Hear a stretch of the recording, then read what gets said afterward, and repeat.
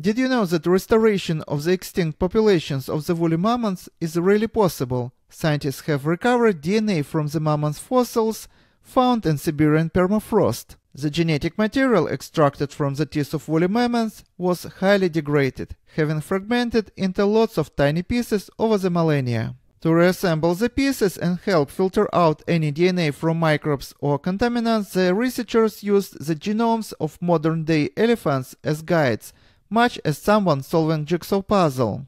In all, they recovered billions of DNA base pairs from the fossil, about 70 to 80% of the genome. In the near future, using CRISPR-Cas9 DNA editing techniques, we would be able to edit and change Indian elephant DNA in order to restore extinct populations of the woolly mammoths.